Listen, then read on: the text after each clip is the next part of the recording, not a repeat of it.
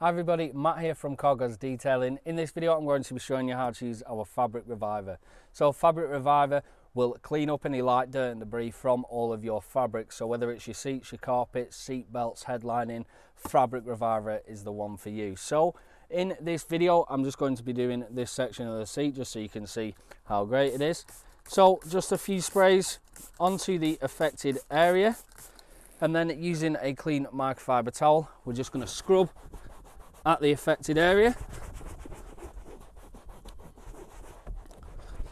So you can either use a towel or you can use your drill brushes and things like that.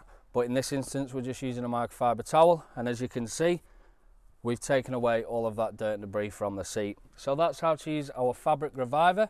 If you have any questions please do get in touch. We're always happy to help. And thanks for listening